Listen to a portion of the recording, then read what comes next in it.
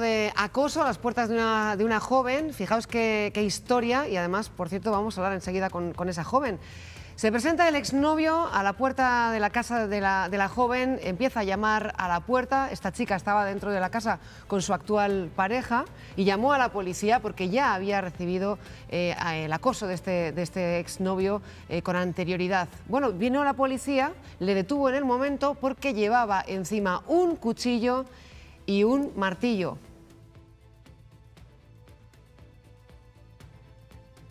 Elena Argandoña, tú estás ahora mismo con esa chica. Ah, dentro de muy poquito va a ser ya el juicio rápido por eh, violencia machista. Lógicamente, esa chica tiene que tener un susto en el cuerpo tremendo, Elena, y nos cuenta que no es la primera vez que le, que le acosa. Así es. Así es, Laura, buenos días, Madrid. Lo más dramático de todo esto es que no es la primera vez que su exnovio merodea por su casa y se acerca para acosarla. Tienen el juicio rápido esta mañana, Yoli, estamos con ella, pide lógicamente una orden de alejamiento. Yoli, cuéntame un poco, ¿qué ocurrió el sábado a las 2 de la madrugada? Tú estabas en casa y entonces viste que volvía a aparecer él. Exacto, desde la cocina, como puedo mirar, ¿sabes? Vi que estaba por aquí merodeando. Entonces yo estoy ahora con otro chico y me dijo, pues llamas tú a la policía o al final vamos a tener problemas porque es que no para de venir, no para de venir. Llamé a la policía, a las dos y pico, dos y media de la mañana vinieron.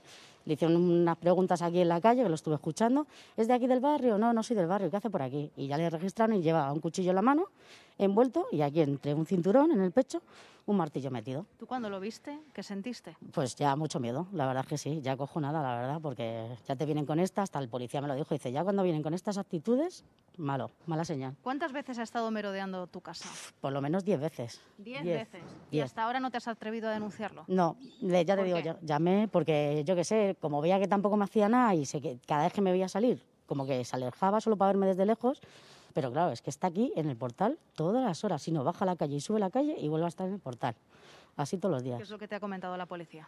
Pues la policía me dijo, dice, no, viendo ya esta actitud, lo mejor es ya denunciar. Dice, y a lo mejor te vas a tener que cambiar hasta de piso y tal, porque ya sabiendo dónde vives, es que te puede venir cualquier momento otra vez. Yoli, ¿tú tienes miedo? miedo? Sí, ya estás con miedo.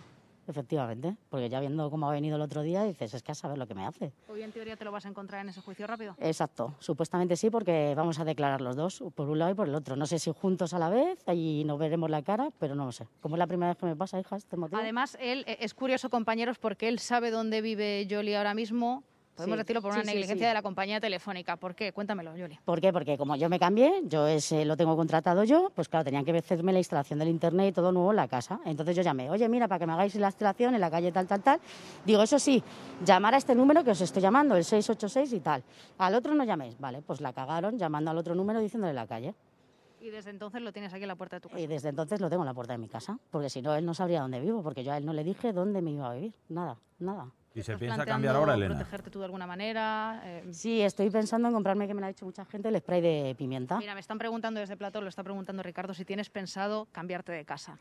Lo he pensado, todavía no me atrevo porque es que acabo de venir y encima ya te digo, es que estaría al lado de mi casa y por eso me vamos al lado del curro. Es que trabaja muy cerca, Yoli. De claro. Es que tener que cambiarse de casa porque sí, tengas pues si a, que sigue, sigue, sigue, me a un loco detrás. a otro, a otro sitio porque es que no Eh, puedes. Es, es- es tremendo y me sorprende, Yoli, que hasta ahora no hayas dado el paso Ya. en denunciarlo, el Sí, miedo ha en estas dicho- ocasiones. Exacto, me lo ha dicho mucha gente. Yoli, es que esto ya lo- desde que has visto que venía y venía y venía, ya tenías que haber llamado, pero es que no me atrevía. No me atrevía y como veía que tampoco pasaba nada, pero hasta el otro día que ya dije, se ha acabado. ¿Tu pareja qué dice? No, el chico con el que estoy, pues eso, que, que no, que ya con malas intenciones. Dice, es que yo no sé si viene a por ti o puede venir a por él. Es que no sabemos la actitud a la que viene. Yo más pienso que... Estuvieron que mucho tiempo juntos, estuvo- mí, pero yo qué sé, nunca se sabe. Ahí está. ¿Cuánto tiempo llevabais juntos?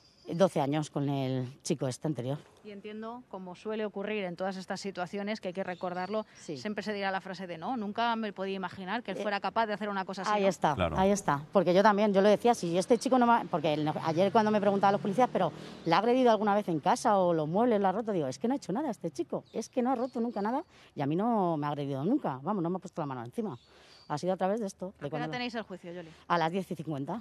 Vamos hablando, me vas contando qué, O sea, que qué ocurre mismo. si consigues finalmente esa orden de alejamiento. Yo espero que sí, Vale. espero que sí. Yo también, hija. Y mucha suerte, Yoli. Vale, Seguimos muchas en contacto. Gracias. Perfecto, gracias. Como veis, una historia tremenda. eh, Una pareja de 12 años que sigue merodeando la zona después de que ella rehace su vida, tiene una pareja nueva y se presenta aquí con un cuchillo y con un martillo atado con un cinturón en- en el pecho. Ella ya se ha atrevido a denunciar. Hay que recordar Me gustaría terminar así esa conexión.